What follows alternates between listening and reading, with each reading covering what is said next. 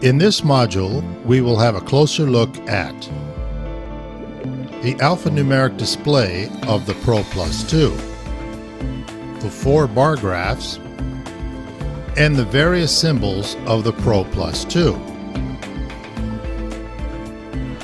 Also, you will learn to use the two multi-state buttons to easily navigate the Pro Plus 2. You will also become familiar with the audible and visual alarms of the Pro Plus 2. And finally, you will be able to verify your progress by taking the first quiz. Press Next at the bottom of the screen.